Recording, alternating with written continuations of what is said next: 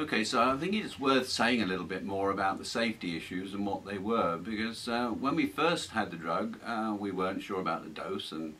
uh, the question of uh, um, route of administration. And in the very early days, the, the drug was sumatriptan, as it was called, chemically, and later on it got the, uh, the trade name Imigran and Imitrex in America. But um, the safety issues were such that uh, um,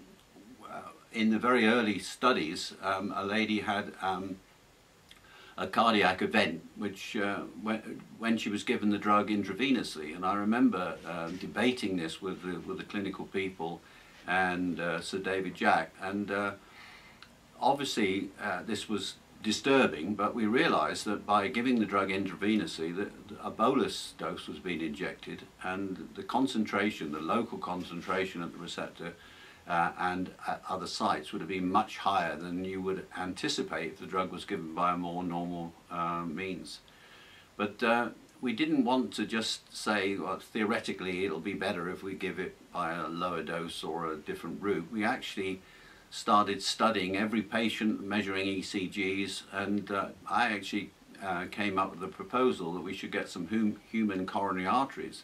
and at that time it was very difficult to get human coronary arteries in England, so we decided that we would uh, liaise with an American uh, clinician who could actually get uh, human coronary arteries very fresh and that we could do the study on.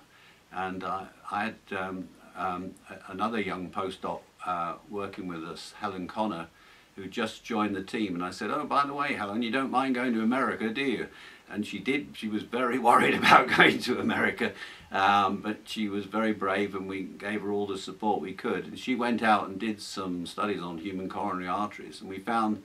that, um, that there were small uh, constrictions to uh, sumatriptan, but they were very small compared to 5-HT. So in other words, 5-HT constricts uh, human coronary arteries uh, massively through the common 5-HT2 receptor, but our new receptor, the 5-HT1B, had uh, only a minimal effect. And later on, studies were actually done in, in, in humans who volunteered to have uh, sumatriptan um, injected into them and then they, uh, uh, the clinician actually measured the coronary artery um, diameter and again the diameter uh, was reduced by up to 14% in some individuals but that's the sort of level you would get um,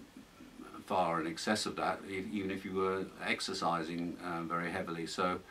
I think there is an issue, and it's always been a, a contraindication uh, not to give this drug to people who are cardiovascularly uh, compromised. But um,